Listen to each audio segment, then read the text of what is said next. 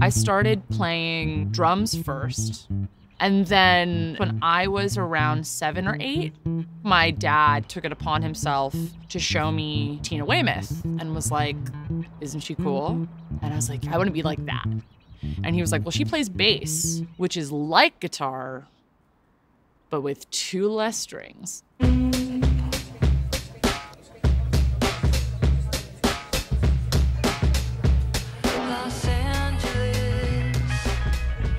The thing that's so great about bass playing is you get to be the foundation, you get to be melody, and you get to be rhythm.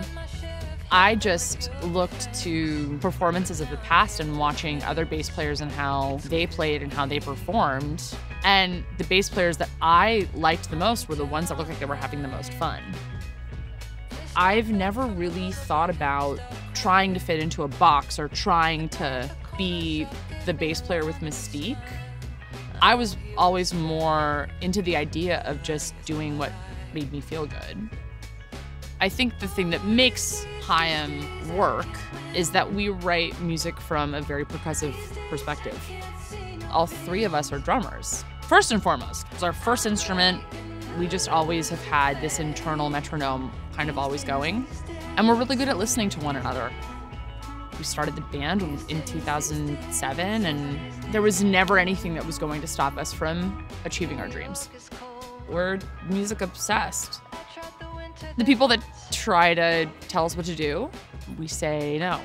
It can get really confusing when you let too many people in and let those opinions in. And I think as an artist, it's important to just listen to yourself my sisters and I would be in these interviews and we would get asked questions that, to be quite honest, were super sexist and misogynistic. You wouldn't call the Strokes a boy band. So why are you calling us a girl band? Anytime a girl's like, I started playing bass, like it makes me so happy. Like that is so cool. Please keep going. We're very lucky to be in the position that we're in this is my job. I get to make music with my family every day that I like love and cherish, and I get to see the world with them. Like, this is such a blessing. This is my dream.